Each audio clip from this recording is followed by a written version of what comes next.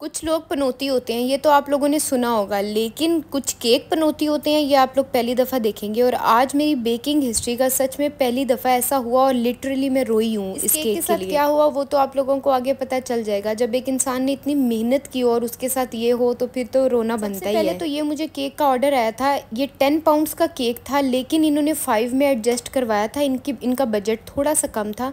वो full fondant cake था जो इन्होंने करवाया था और मैं ये दो दिन पहले से ये फॉन्डेंट के टूल्स बना के पहले रख देती हूँ सीएमसी पाउडर डाल के।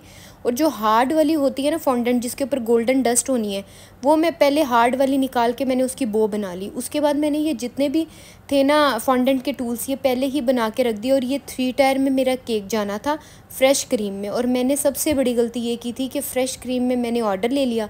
और जो जो मिस्टेक्स मैंने की हैं, वो मैं आप लोगों को स्टेप बाय स्टेप बताऊँगी। पहली मिस्टेक मेरी ये थी कि मैंने जो केक बोर्ड के ऊपर केक रखा था ना, वो मैंने साइड पे रखा था, बीच में नहीं रखा था। जब थ्री टायर या टू टायर के केक्स होते हैं ना तो उन्हें हमेशा दरमियान में रखना चाहिए। अच्छा यहाँ पे मैंने स्टेयर्स बनानी थी। स्टेयर्स को मैंने इस तरह एडजस्ट किया था कि मैंने पीछे अंदर जो है इसके वो चॉप स्टिक्स डाल भी ड्राई होने के लिए रख दिया था और ये भी हार्ड फॉन्डेंट थी यानी कि जो वेस्ट वेस्ट से मुराद जिसके अंदर सीएमसी पाउडर डल जाए ना दोबारा से उसे रखो तो वो हार्ड हो जाती है। तो वो मैंने फॉन्डेंट यूज़ की थी बेसिकली टूल्स बनाने के का डिज़ाइन तो बहुत यूनिक था बनाने का। अच्छा मुझे चैलेंज लेने का वैसे भी बहुत ज़्यादा शौक है।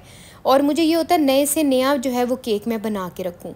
और ये मैंने सीढ़ियाँ जब बनाई थी इसके नीचे मैंने एक वो भी रख दिया था वो स्ट्रॉ रख दिया था ताकि ये भी स्टे कर जाए। और दो दिन के बाद ये इतने हार्ड हो गए थे कि ईजिली स्टे कर गए थे सारे फॉन्डेंट की बात आती है मेन जिसकी वजह से मेरा सारा का सारा काम ख़राब हुआ काम ये ख़राब हुआ कि मैंने जो था वो केक बना के दोपहर में मेरी हेल्पर्स आई होती हैं उनके साथ मैंने सारा काम करके एसी के अंदर तो मैंने रख दिया। ये मैंने दो को कर लिया फाइनल और इसको मैं उठा के लेके जा रही थी मेरे हाथ से छूटा और ये गिर के टूट गया। सारा टूट गया। नहीं तो नीचे गिरा वैसे तो नीचे से उठाया था मैंने। जो नीचे अच्छा हुआ कुछ यूँ कि ये जो केक टूटा था वो मैंने रख के तो मैंने दोबारा बेक किया। रात मुझे तीन बज गए।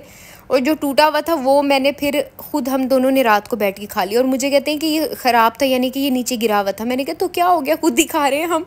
मेरी मेहनत हुई हुई है उसके अच्छा, फिर अगले दिन उठ के मैंने जो क्रम कोट करके फाइनल टच करके रखे थे इन्होंने बारह बजे लेके जाना था और इवेंट पर इनका केक रखना था इन्होंने छः बजे।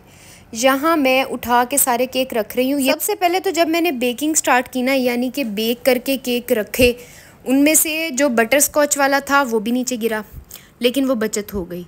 उसके बाद चॉकलेट वाला गिरा, पता नहीं इस केक को क्या इशू था। ये फ्रेश क्रीम में बना हुआ था। इतना मुश्किल था इसे हैंडल करना मेरे लिए। मेरी जो बेकिंग लाइफ का सबसे चैलेंजिंग केक था ये। उसके अलावा जब मैंने अपनी फेलो बेकर से ज़िक्र किया तो उसने कहा कि ये बेवकूफ़ी है कि फ़्रेश क्रीम को गर्मियों के अंदर आप थ्री टायर में लेके जा रही हैं और वो भी फाइव पाउंड्स में। आपने इतनी मेहनत की मेरे लिए। बहुत बहुत शुक्रिया। यकीन करें, मैं बहुत खुश हुई हूँ। मुझे बहुत बहुत बहुत बहुत अच्छा लगा है। जैसे मैंने सोचा था, मुझे उससे भी बहुत ज़्यादा अच्छा लगा कि लोगों ने इतनी तारीफ़ की है। मैंने जिसको बताया ना कि ये घर में बेक किया गया और घर में बनाया है उन्होंने आपको इतना अप्रिशिएट किया है बहुत खुश हैं वो भी। उन सबको जो है ना फ्लेवर बहुत अच्छे लगे हैं। चॉकलेट फ्लेवर मैंने हालाँकि आपका पहली दफ़ा खाया मुझे ये थे लास्ट पे उनके रिव्यूज़ रिव्यूज़ देखने के बाद तो सीरियसली अपनी सारी मेहनत पूरी हो गई थी और केक वाकई में बहुत अच्छा लग रहा था लोकेशन पे भी जाके बहुत अच्छा लग रहा